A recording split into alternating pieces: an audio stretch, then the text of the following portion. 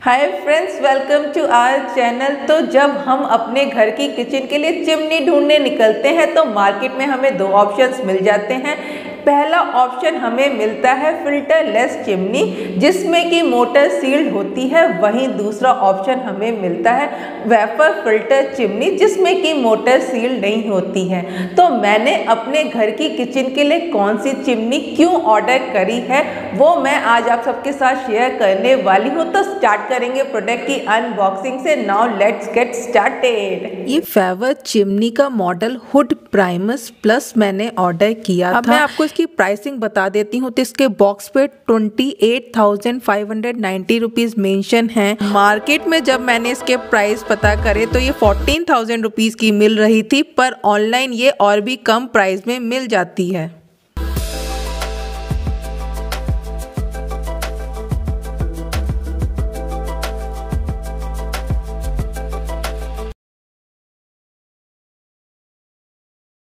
इसके बॉक्स में हमें मिल जाती है oil collector tray manuals warranty card और ब्लैक कलर की फेवर की चिमनी इसका वेट 14 टू 16 केजी के अराउंड है.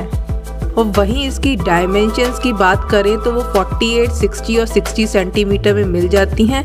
इस प्रोडक्ट पे वन ईयर की प्रोडक्ट वारंटी मिलती है और और वहीं फाइव ईयर्स की वारंटी मोटर पे मिल जाती है।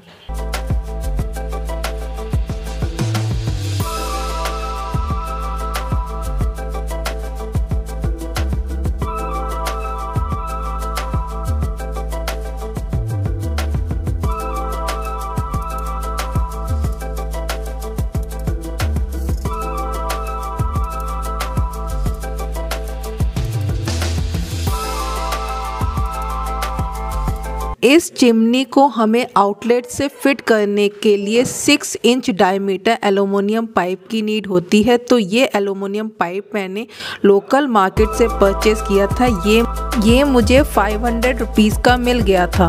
इस एलुमिनियम पाइप को टॉप ऑफ़ द चिमनी से आउटलेट में फिक्स करना होता है।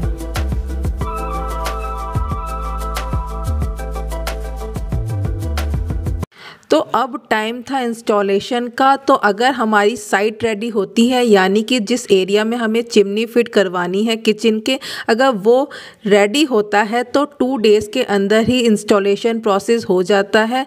तो ये सारा सामान जो था, वो चिमनी के बॉक्स में ही मुझे रिसीव हुआ था। मैंने आपको अनबॉक्सिंग के टाइम पे दिखाया था। ये प्रॉपरली इन्होंने फिट कर दिया और उसके बाद चिमनी को भी प्रॉपरली प्लेस कर दिया। इस चिमनी में हमें मिलते हैं टू वेफल फिल्टर्स इसमें है हीट ऑटो क्लीन टेक्नोलॉजी जिसमें कि ऑयल कलेक्टिंग टेक्नोलॉजी है। इस चिमनी के जितने भी पार्ट्स थे, जो वेफल फ़िल्टर आपको दिख रहे होंगे, ये प्रॉपरली प्लास्टिक से कवर थे। तो इनको भी प्रॉपरली रिमूव कर लेना चाहिए, क्योंकि तड़का वगैरह लगाते हैं तो जलने का खतरा रहता है। तो इसलिए जितना भी प्लास्टिक पोर्शन आपकी चिमनी पे अटैच होता है, आपको उसको प्रॉपरली रिमूव करवा लेना चाहिए इंस्टॉलेशन के टाइम में। अब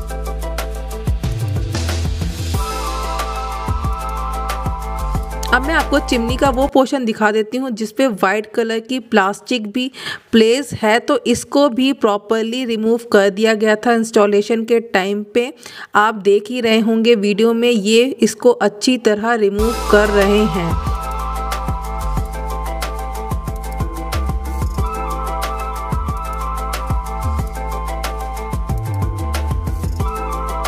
तो मैं आपको वो सारी जगहें दिखा रही हूँ जहाँ जहाँ से इस पॉलीथीन को रिमूव करना है।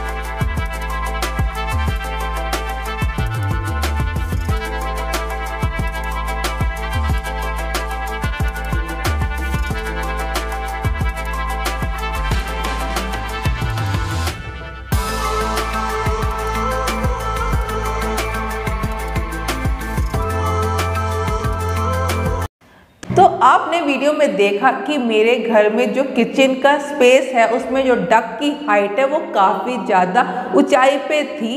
इसलिए मैं एक हाई सक्शन कैपेसिटी वाली चिमनी ढूंढ रही थी और मैंने ऑर्डर करी है ये फेवर 1500 मीटर क्यूब पर आ सक्शन कैपेसिटी वाली चिमनी फाइनली चिमनी इंस्टॉल हो गई है और आपको फ्रंट पैनल पे ये पावर का बटन दिखाई दे रहा है। आप इसको ऑन करेंगे, उसके बाद इसमें आपको वन टू थ्री तीन ऑप्शन दिख रहे होंगे, जिसमें आपको फ़र्स्ट नंबर नॉर्मल कुकिंग के टाइम पे चिमनी ऑन करनी है। सेकंड अगर आप तेल का कुछ काम कर रहे हैं, हल्का फुल्का तब ऑन करना है और थर्ड जब आप हैवी ऑयलिंग की कुकिंग कर रहे हैं, तब ऑन करना है। और सामने ही आपको लाइट ऑन एंड ऑफ़ का ऑप्शन भी मिल जाता है। उसके बाद आपको एक और ऑप्शन दिख रहा होगा ऑटो क्लीन का। हफ़्ते में एक बार आपको ये ऑटो क्लीन का ऑप्शन भी ऑन करके चिमनी को साफ़ कर लेना है। तो अगर आप भी एक बजट हाई सक्शन कैपेसिटी वाली चिमनी ढूंढ रहे हैं तो आप डेफिनेटली इसको ट्राई कर सकते हैं। इसका जो लिंक है, वो मैं डिस्क्रिप्शन बॉक्स में दे दूँगी। आप वहाँ से आके चेकआउट कर सकते हैं और मुझे कमेंट सेक्शन में बता सकते हैं कि आपको ये वीडियो कैसी लगी। अगर आपको ये वीडियो थोड़ी भी यूजफुल लग रही है और पहली बार देख रहे हैं इस वीडियो को तो चैनल को सब्सक्राइब करना मत भूलना वीडियो को लाइक करना मत भूलना और हम मिलते हैं अपनी नेक्स्ट वीडियो में। तब तक खुश रहिए, स्वस्थ रहिए।